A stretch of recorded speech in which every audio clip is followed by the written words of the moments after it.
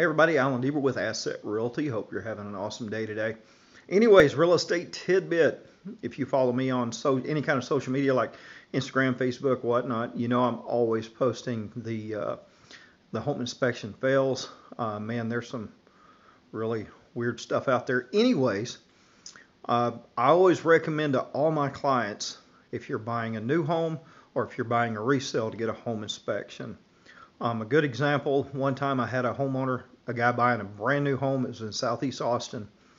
Uh, he paid to have the home inspected. Uh, one of the things the inspector found is the rain cap on top of the heater vent that goes through the roof was missing. It's a little $5 item. Uh, took the builder, you know, just a couple of minutes, a couple of screws, put it back on. Um, what that could have done is potentially wore out the heat exchanger, the heating element part of his heater, and uh, could have cost him thousands of dollars later. Anyways, that's your real estate tidbit of the day. If you're going to get a home, if you're going to buy a home, please get a home inspection.